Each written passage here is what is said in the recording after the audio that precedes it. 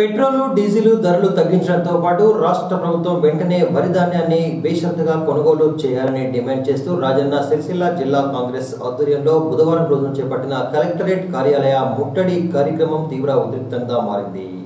ఓ దశలో కలెక్టరేట్ కార్యాలయంలోకి చొచ్చుకుపోవడానికి ప్రయత్నించిన కాంగ్రెస్ నేతలను కార్యకర్తలను పోలీసులు అడ్డుకోవడంతో జిల్లా కాంగ్రెస్ అధ్యక్షులు నాగుల సత్యనారాయణ కాలికి గాయమైనట్లు సమాచారం.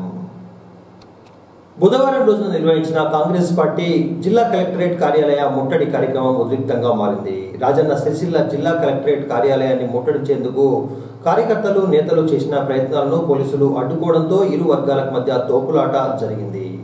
పెంచిన నిత్యావసర ధరలను తగ్గించాలని రైతులు పండించిన ధాన్యాన్ని బేషరతుగా కొనుగోలు చేయాలని డిమాండ్ చేస్తూ కలెక్టర్కు వినతి పత్రాన్ని అందించేందుకు వెళ్తున్న కాంగ్రెస్ నేతలను కార్యకర్తలను పోలీసులు అడ్డుకున్నారు. దీంతో పోలీసులకు కాంగ్రెస్ పార్టీ నేతలకు మధ్య తీవ్ర తోపులాట జరగడంతో కాంగ్రెస్ పార్టీ అధ్యక్షులు నాగుల సత్యనారాయణ కాలుకి తీవ్ర గాయాలయ్యాయి. దీంతో ఆగ్రహం వ్యక్తం చేసిన పార్టీ కార్యకర్తలు నడి రోడ్డుపై బైఠాయించి కేంద్ర రాష్ట్ర ప్రభుత్వాలకు వ్యతిరేకంగా నినాదాలు చేశారు. విషయం తెలుసుకున్న జిల్లా అదనపు కలెక్టర్ కిమ్యా నాయక్ కాంగ్రెస్ పార్టీ కార్యకర్తల శిబిరం వద్దకు చేరుకొని వినతి పత్రాన్ని తీసుకున్నారు.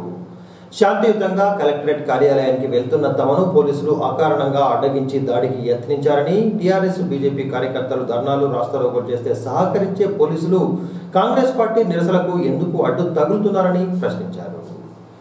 కార్యక్రమంలో జిల్లా అధ్యక్షులు నాగుల సత్యనారాయణ వేములవాడ ఇన్ఛార్జి ఆది శ్రీనివాస్ ఉపాధ్యక్షుడు షేక్ గౌస్తో పాటు సిరిసిల్ల పట్టణ అధ్యక్షుడు సంగీతం శ్రీనివాస్ కొనురావుపేట మాజీ జడ్పీటీసీ కొట్టే రుక్మిణి భీములవాడ పట్టణ అధ్యక్షులు సాగర వెంకటస్వామితో పాటు అన్ని మండలాలకు చెందిన కాంగ్రెస్ పార్టీ అధ్యక్ష కార్యకర్తలు ఉన్నారు.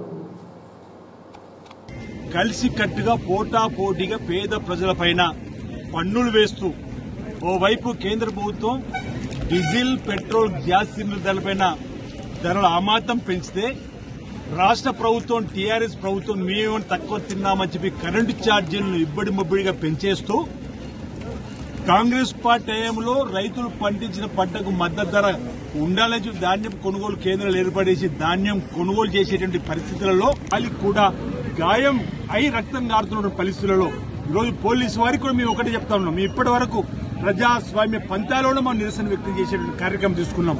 ఈ రోజు ఇక ఐదు నిమిషాలు ఇక ఐదు నిమిషాలు మమ్మల్ని లోపల పంపకుండా అధికారులు రాకపోతే ఈ రోజు మీరు రోడ్డు మీద బైఠాయించి ఈ రోజు మా యొక్క నిరసన వ్యక్తం చేసిన పరిస్థితి. వీటన్నిటి కూడా కలుపుకుంటూ నిన్న కేంద్రం ఏదైతే ఉన్నదో ఇలా రాష్ట్రాన్ని వడ్లు కొట్టమని కొ- కొన కొనాలని ఈ రాష్ట్రం కేంద్ర ప్రభుత్వం వడ్లు కొనాలని చెప్పి ఒక డ్రామా ఆడుకుంటూ ఈ కేంద్ర రాష్ట్ర ప్రభుత్వాలు సామాన్య మానవులు రైతులు తిరగబాటు చేసేటువంటి పరిస్థితిని వాళ్ళు ఇలా కేంద్ర ప్రభుత్వం రాష్ట్ర ప్రభుత్వం రోడ్డు కలిసి రోడ్డు మీద కలిసి ధర్నా చేసేటటువంటి పరిస్థితి మనం యావత్ భారతదేశంలో చూస్తా ఉన్నాం. లేదు కలెక్టర్ గారు బయటకు వచ్చేటువంటి పరిస్థితి లేదు. మమ్మల్ని లోపట్టుకొని వాళ్ళు ఇల్లు ఇతరులకు రానియారు అంటే దాదాపు గంట సేపు జరిగినటువంటి డ్రామాలో మళ్ళీ మేము ప్రజాస్వామ్య బద్దంగా రోడ్డు మీదకి వచ్చి మేము ధర్నా చేస్తే. ఇలా ఏదైతే అడిషనల్ కలెక్టర్ గారు వచ్చి రాజన్న సిరిసిల్ల అధ్యక్షులు పెద్దలు సత్యనారాయణ గౌడి పిలుపు మేరకు ఇవాళ కలెక్టర్ ఆఫీస్కు వినతి పత్రం ఇస్తా అంటే ఒక గంట సేపు పోలీసు వాళ్ళు ఆపడం జరిగింది. అంటే పోలీసు రాజ్యం నడుస్తుందా? ఇలా రాజకీయం నడుస్తుందా? టీఆర్ఎస్ పాలన నడుస్తుందా? మీరే ధర్నాలు చేసుడు.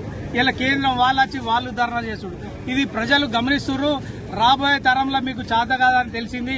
ఇలా టీఆర్ఎస్ ప్రభుత్వం కానీ బీజేపీ ప్రభుత్వం చేత కాదు. ఇక మీరే వెళ్ళుకోరు అనే విధంగా ఇలా ప్రభుత్వాలు ఉన్నాయి కాబట్టి దీన్ని అనుసరించి ప్రజలు కూడా గమనించాలి. కనీసం వినతి పత్రం ఇచ్చేందుకు ఒక గంట సేపు ఇక్కడ నిలబెట్టే పరిస్థితి ఎంత వరకు కరెక్ట్ అనేది ఇలా టీఆర్ఎస్ ప్రభుత్వాన్ని అడుగుతున్నా.